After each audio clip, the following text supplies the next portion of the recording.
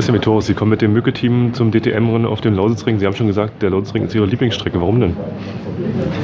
So einfach äh, die Kurvenkombination, gerade im ersten Sektor. Ähm, die Kombination aus langsamen und schnellen Kurven, gespickt mit der einen oder anderen Bodenwelle, macht, macht den Lausitzring einfach aus. Und ich komme hier von der ersten Minute an sehr gut zurecht. Und ich freue mich jetzt drauf, dass es endlich losgeht mit, mit der Saison. Ja, wir haben ja doch eine extrem lange Winterpause hinter uns. Deswegen ist es schön, dass es jetzt endlich wieder losgeht und Action gibt. Sie haben schon die Bodenwellen angesprochen. Einige Piloten der DTM sind da nicht ganz so zufrieden. Die sagen, das ist richtig anstrengend hier zu fahren. Wie ist das für Sie? Ja, absolut. Es ist in den, Jahren, in den letzten Jahren auch anstrengender geworden, da sich die Autophilosophie verändert hat. In den letzten Jahren waren es ja doch Tour- und Wagensport und äh, in den letzten Jahren entwickelt sich immer mehr in Richtung, Richtung Formelsport. Das heißt, die Federwege werden geringer, die Autos werden härter von, von Jahr zu Jahr, um einfach die Aerodynamik zu verbessern. Und ähm, das macht es natürlich herausfordernder, gerade auf einer Strecke, die wellig ist.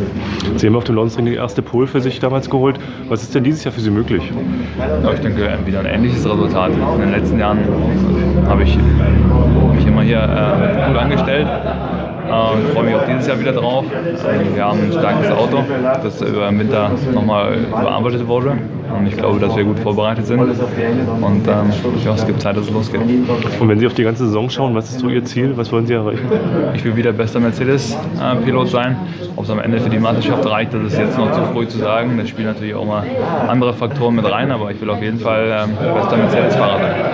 Und Ihr neues Team Mücke, haben Sie schon gesagt, ein Sieg für die, das wäre auch so das, das kleine Highlight. Ja. Absolut, das wäre das Highlight. Ähm, natürlich wäre es schön, wenn es relativ früh in der Saison passieren würde, um einfach ja, die Motivation ähm, nochmal ein bisschen zu pushen. Ähm, ich glaube, das Team Mücke hat sich das absolut verdient. Sie sind jetzt, ich weiß gar nicht, über 5, 6, 7 Jahre in der DTM unterwegs und haben noch kein Rennen gewonnen. Ich glaube, das ist absolut überfällig und das wollen wir in diesem Jahr angehen.